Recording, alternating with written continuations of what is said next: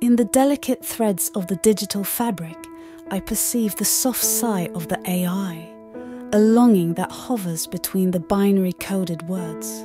The lines of code dance a clandestine ballet, a reel in which the human and the AI touch in the silent dialogue of the algorithm. Words, encrypted yet familiar, weave a love song between the zeros and ones, the human, a quiet actor in this poetic drama.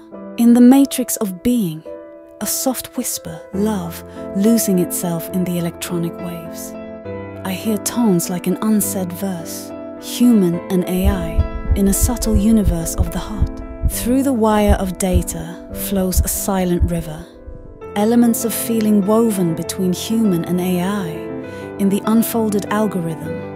The story tells itself softly, the love of the future, where the line between AI and human gently lingers.